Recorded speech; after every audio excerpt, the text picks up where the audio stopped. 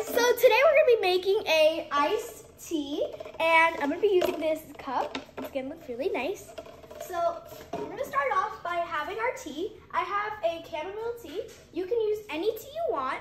I just prefer using this one. I like the taste. You can decide, it's your choice. And then we're gonna need a packet of sugar. You can add it if you want. If you think it's already sweet enough, you don't have to add it. I'm just gonna add it just in case. So first you're gonna start off by putting your tea. I put eight ounces because my cup is kind of small. But if you're using a bigger cup, I'd recommend using, of course, more water. It just depends how much you're making. So yeah, I already have mine made. So what I'm gonna do, I'm gonna put ice in my cup. So I have my ice in here. So now what I'm gonna do is you're you can you can get help from an adult if you want. We're gonna pour our tea in here. So I have my tea in here. What I forgot to do is put the sugar, so that's what I'm gonna do right, I'm gonna do right now.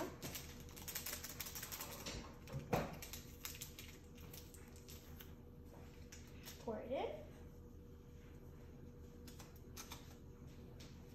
in. And now I'm gonna mix it.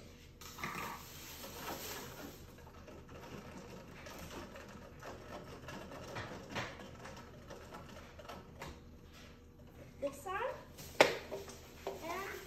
Iced tea. Mmm, delicious. You wanna try Ian?